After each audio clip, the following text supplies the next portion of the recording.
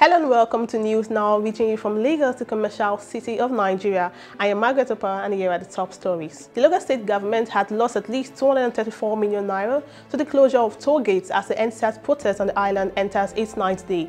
However, the state had continued to generate money from adverts at the toll plazas.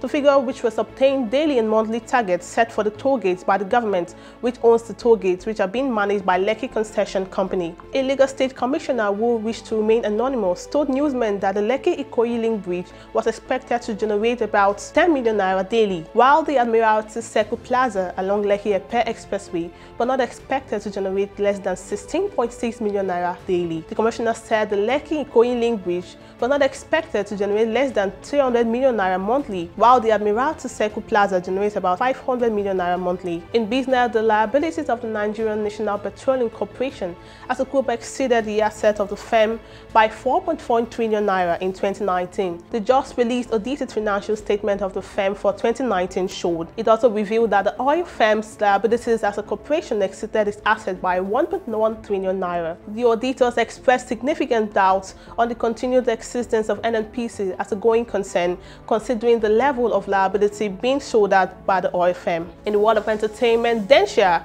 has taken to social media to react after Tiwa Savage called out Beyonce for not lending her voice to the anti-SARS protest. Because the singer had a video in which she reminded Beyonce of how she and her team reached out to a lot of Nigerians for her Black is King project. In a recent tweet, Dencia stated, Africans are always seeking unnecessary validations from people and things. And that wraps it up on iBrand TV's News Now. For more stories, visit our website and don't forget to follow all our social media handles. I am Margaret Opara and see you next time.